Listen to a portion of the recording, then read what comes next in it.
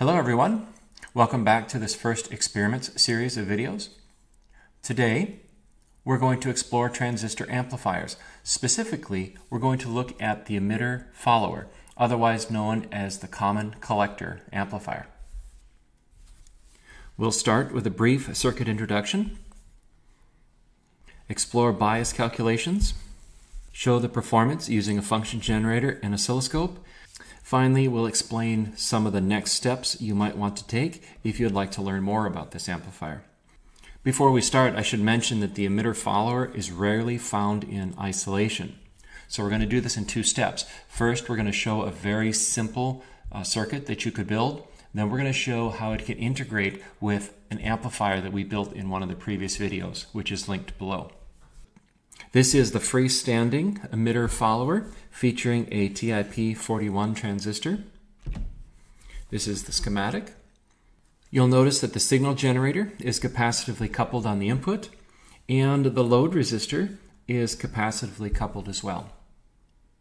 To get started with the math, we're going to briefly talk about what's known as bias. Think of biasing as the DC voltages necessary to set the transistor up for operation. For example, in an ideal world, this amplifier would allow an output signal of 15 volts all the way down to negative 15 volts when viewed at the load resistor. In the real world, we're not going to reach those numbers, but we can get relatively close. So, in order to do that, one of the first decisions we'll make is that we want this point right here to be approximately 15 volts. Why 15? Because 15 is half of the power supply, which would allow us to swing up to 30 and ideally down to zero. For now, we're going to connect up both of these resistors. So together, these two 1000 ohm resistors give us 500 ohms. And 15, actually the current, the current is therefore 15 volts divided by 500 ohms, which gives us about 30 milliamps. That does present something of a problem because this transistor is going to get hot. In fact, it's going to dissipate 15 times 0.03, which is approximately half a watt, which is hot enough that you should consider using a heatsink such as this paper clip, which I've clipped on top of the transistor. You'll also notice that I used two half watt resistors here. That reduces the power dissipation on any single resistor because there's also, between the two of these, another half watt of power dissipation. We do know that there is a voltage drop here of approximately 0.7 volts and we need to select an R1 and an R2 to provide that voltage. As a rule of thumb, we can select these two resistors such that there's one tenth of the current flowing. So if we have 30 milliamps in the emitter, we're going to select this to be 3 milliamps. 30 volts divided by that 3 milliamps gives us 10K total. To simplify this, I've simply selected two 5K resistors. Here's one of the biasing resistors. Here's the other one. And here's the connection to the base. The collector is connected here, and there's another jumper that you can't see, which connects to this point. There's the two 1K resistors, so they're connected like so in parallel and then we jumper over to the capacitor and finally to our load resistor. While we're here, I should mention that this here is the negative terminal of the capacitor and this is the negative terminal of the other capacitor. At this point, we're going to fire up the oscilloscope. We are going to look here with channel 1 we are going to look here with channel 2 and we're then going to look here again with channel 2. For this experiment, we're using the Digilent Analog Discovery as a waveform generator. and we're using an analog oscilloscope.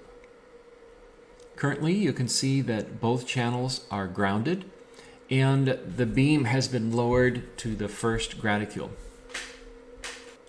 This is channel 1 and you can see that it's at 510, approximately 15 volts. And here's channel 2. You can see that it's slightly less than 15, as to be expected. In fact, it should be approximately 0.6 or 0.7 volts less. And now we'll turn on the function generator.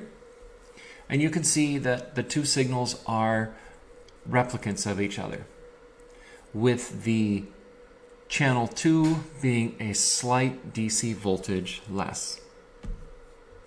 Let's move oscilloscope channel 2 to look at the output on the load resistor. Remember that we're DC coupled on channel 2, so our output is centered about ground, which is currently set to that lower graticule. If I were to move the trace up, you should see that the two are identical.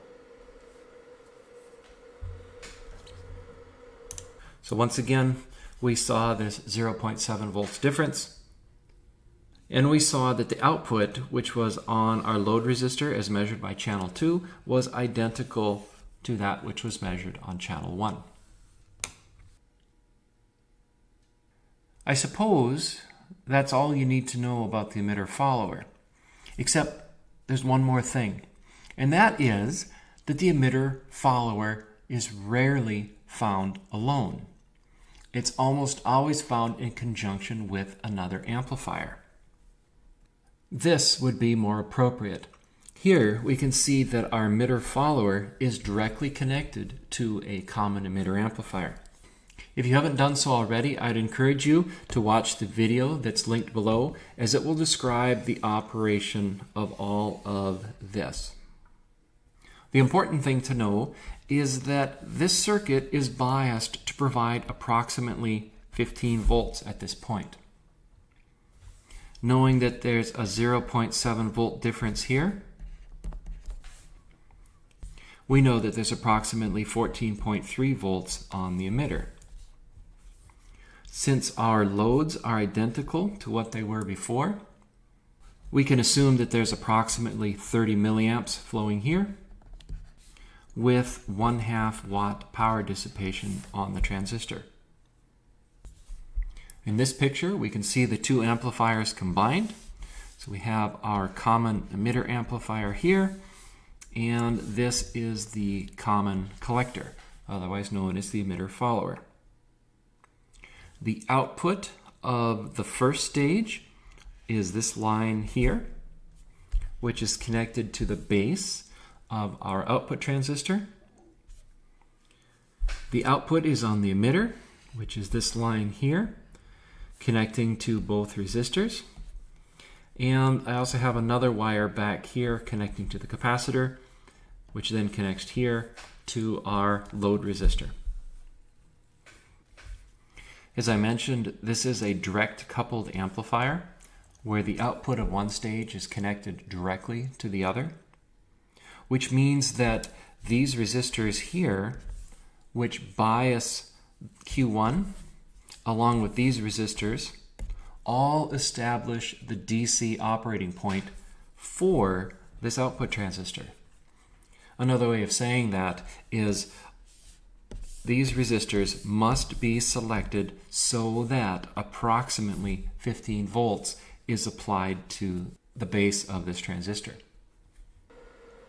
To test this part of the circuit, I've connected oscilloscope channel 1 to the base and oscilloscope channel 2 to the emitter of our emitter follower. Notice that both oscilloscope channels are grounded and they're currently set to the first division. We DC couple channel 1 and we can see that the voltage has risen 5, 10, 15 to perhaps 17 volts Again, that's on the base. And now we DC couple channel 2, which is the emitter. And you can see that the emitter is slightly less, which is exactly what you would expect. Approximately 0.6 volts for the base emitter uh, voltage drop. We can turn on our function generator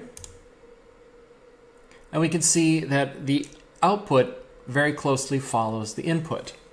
In fact, if I adjust channel 2 ever so slightly, they should be right on top of each other, which implies that we have a faithful reproduction of the signal. At this point, I'm going to move channel 2 so that it's looking at the 1K load. And then I'm going to AC couple for convenience. We'll move this to the center graticule and then AC couple. Let's go ahead and push this a little harder. We've adjusted the function generator up to 2 volts. And now I'm going to use the variable control to lower the signal slightly. Based on this, it looks like we're able to produce a maximum of approximately 10 volts peak or 20 volts peak to peak from this particular amplifier. Before we leave, there is something I'd like to show you. What we're going to do is we're going to remove one of those 1K emitter resistors and watch what happens. You can see that there's now some distortion in this signal. Based on this observation, we could make a statement that the total output power of the amplifier is somehow related to the quiescent current that's flowing through the transistor.